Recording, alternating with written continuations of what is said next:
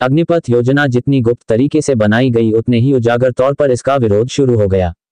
कहा गया कि इसे बनाने में लगभग दो वर्ष का समय लगा। शायद सरकार के मंत्रियों तक को इसका आभास नहीं था, लेकिन अब तारीफों के पुल बांधे जा रहे हैं। सभी इस स्कीम को समझाने में व्यस्त हो गए हैं। स्कीम के प्लस और माइनस की बात एक्सपर्ट जाने। समझने की बात है कि जब से ये सरकार आई है, नौकरियाँ कम ही हुई है। दिखाने के लिए टेक्निकल एंट्रेंस परीक्षाएँ ली गई।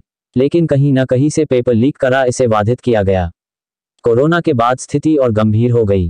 वो दृश्य आज भी आँखों के सामने तैर रहे हैं। लाखों की तादाद में मिलों में काम करने वाले मजदूरों को जिस बेरहमी से मरने को छोड़ा गया।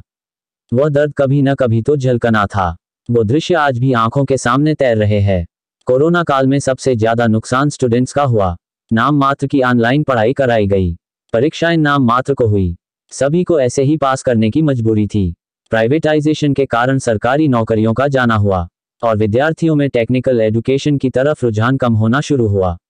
यहाँ तक कि इंस्टीट्यूशंस में सीटें खाली रहने लगी। हज़ारों इंजीनियरिंग कॉलेज अब धर्मशालाओं में परिवर्तित होने की कगार पर है। नवयुवकों का भविष्य के प्रति उत्साह कम हुआ। निराशा धीरे धीरे अपने चरम की ओर बढ़ रही थी। छात्र अभी भी आस लगाए थे कि शायद मोदी सरकार कुछ करेगी। इसी आस में नवयुवक मोदी सरकार को समर्थन दे रहे थे। अचानक बिना किसी वार्ता के नवयुवकों के लिए अग्निपथ मार्ग चुन लेना एक सोची समझी साजिश थी। जो गम खाए निराश नवयुवकों के गुस्से का कारण बन गया। ये एक दिन होना ही था।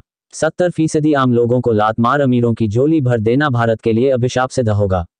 आम आदमी के लिए रोज़गार, नौकरी एवं उनकी आमदनी में एक निश्चित बढ़ोतरी अगर नहीं होती है तो ये एक सामूहिक आंदोलन का रूप ले लेगा।